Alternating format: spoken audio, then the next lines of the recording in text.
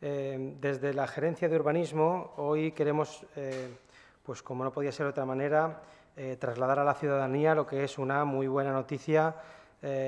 para el patrimonio histórico de Palma. El próximo jueves 17 em, tiene comprometida la Avenida Palma el secretario de Estado, don Rafael Catalán, del Ministerio de Fomento, con la finalidad de em, aperturar, realizar la apertura de la finalización de las obras de las eh, fases A, B y C, eh, financiadas eh, a través del programa 1% cultural del Ministerio de Fomento,